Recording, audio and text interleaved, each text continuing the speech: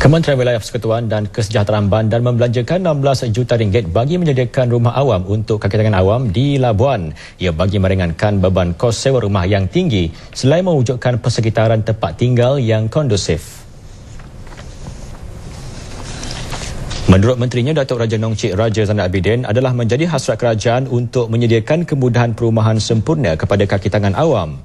Beliau merasmikan perumahan kaki tangan awam Kampung Bukit Kuda Labuan. Projek merangkumi empat blok bangunan mengikut grade pegawai dan penjawat awam penjawat awam. Sebanyak 64 unit rumah telah ditawarkan dan sejak 1 September lalu, rumah ini telah mula diduduki. Kemudahan lain yang masih dalam peringkat pelaksanaan dalam projek fasa 3 termasuk mendirikan Dewan Arena, surau dan tangki air yang dianggarkan berjumlah 11 juta ringgit.